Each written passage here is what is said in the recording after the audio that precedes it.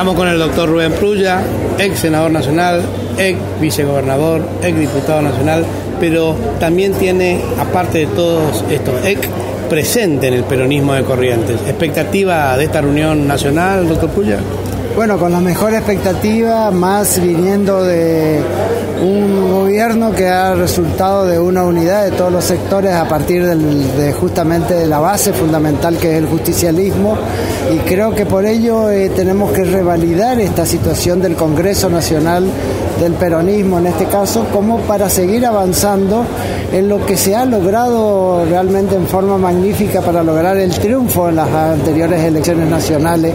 que es lógicamente la revitalización y la mejor unidad de todos los sectores del peronismo y del Partido Justicialista, no solamente acá a nivel nacional, sino en cada una de las provincias argentinas representadas,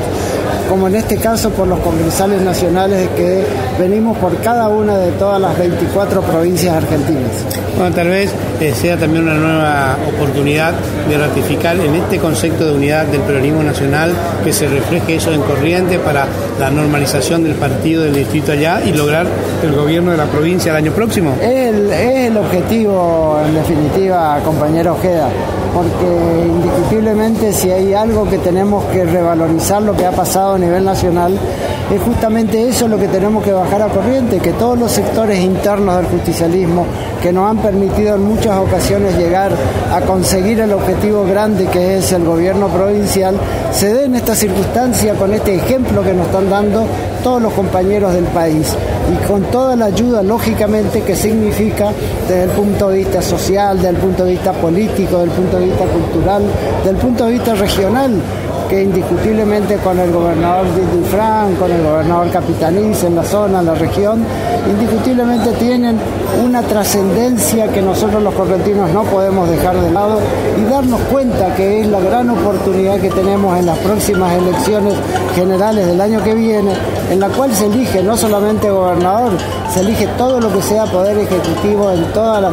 más de 70 comunas que tenemos representación en Corrientes, que tenemos que tener representación en Corrientes.